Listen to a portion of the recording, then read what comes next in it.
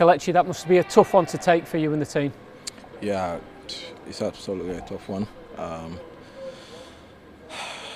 I don't know. It's just um, we need to do more. We need to do a bit more. It's it's, uh, uh, it's not good enough from us. Uh, we just need to get back and and uh, work on training and uh, uh, get back to winning ways. And next game we need to fight and get the three points. So it's not good enough from us.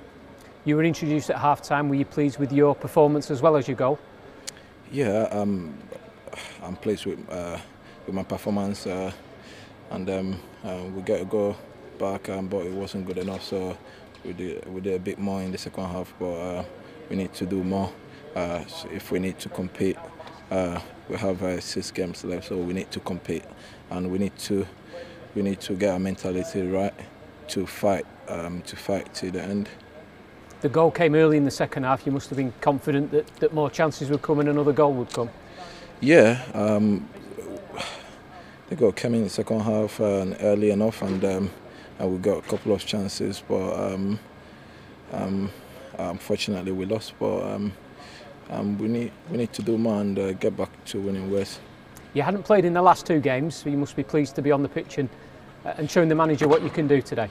Yeah, it's always good to get to get in the pitch to play and to uh, to help my teammates. Uh, everyone is uh, is important in the team, so whenever you you're playing, so you need to give give your best and do your best for the team. So it's a, a collective uh, uh, effort. So you need to do your best whenever you play.